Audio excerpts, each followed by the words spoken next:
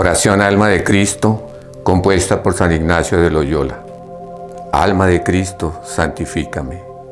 Cuerpo de Cristo, sálvame. Sangre de Cristo, embriágame. Agua del costado de Cristo, lávame. Pasión de Cristo, confórtame. Oh buen Jesús, óyeme. Dentro de tus llagas, escóndeme. No permitas que me aparte de ti del maligno enemigo defiéndeme.